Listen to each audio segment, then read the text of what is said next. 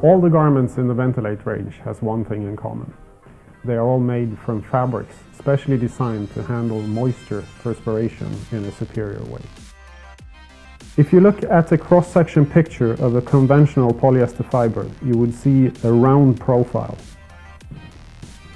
The polyester fiber that we use in our Ventil8 garments has an irregular profile. The diameter of the two fibers might be the same, but the Ventil8 fiber has a lot larger surface area.